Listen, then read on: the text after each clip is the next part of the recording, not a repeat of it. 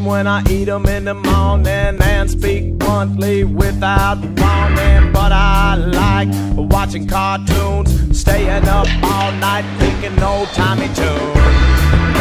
No plot line, or just a terrible plot line in general. Just terrible acting. Like, you know that? I don't want to watch a movie with a mono face like that, that chick from the vampire movie. I'm not going to be interested. But movies nowadays, they are like superhero movies. You have the superhero and the villain, and then there's a problem, and then the superhero wins. So it's like, it's very kind of mainstream.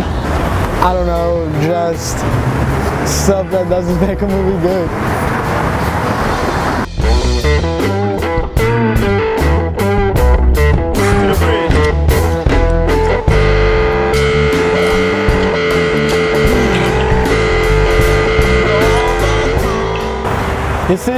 This all started as a joke. Me and my friends went to this really awful movie. In my 16 years of life, I've seen some crap, but that movie took the cake. And there was this one guy in the audience. He was being a total Butt nugget. A butt nugget. Like he was just shouting out how bad the movie was. And and Violet looked over at us and she was like, I bet we could make a worse movie in this. And I was like, hell yeah, we can.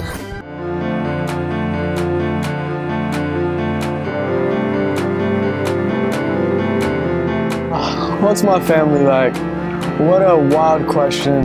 So, being the oldest of four siblings, I live a pretty bizarre family life. I started sometimes feel like the father instead of a brother is very hard. Um, I have to share a lot, just a lot of things that don't really go smoothly in a big family, but I think being the oldest, I provide a good influence. I feed the fifth.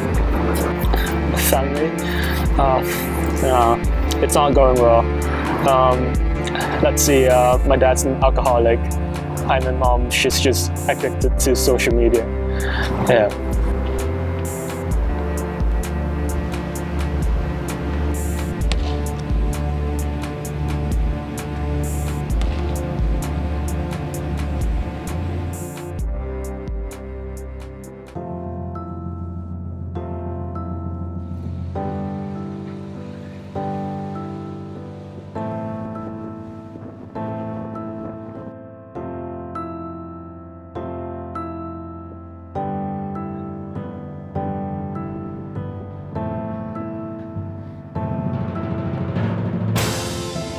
Um, even though it started as a joke, it became more than that.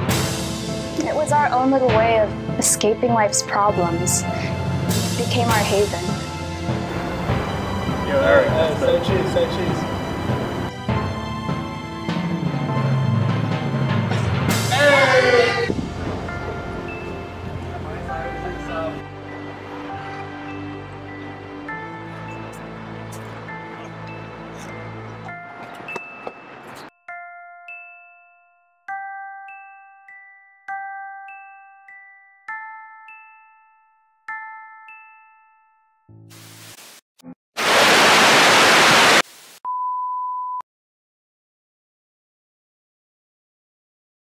There is no real me.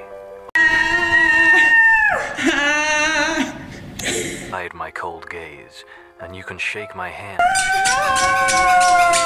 You can even sense our lifestyles are probably comparable.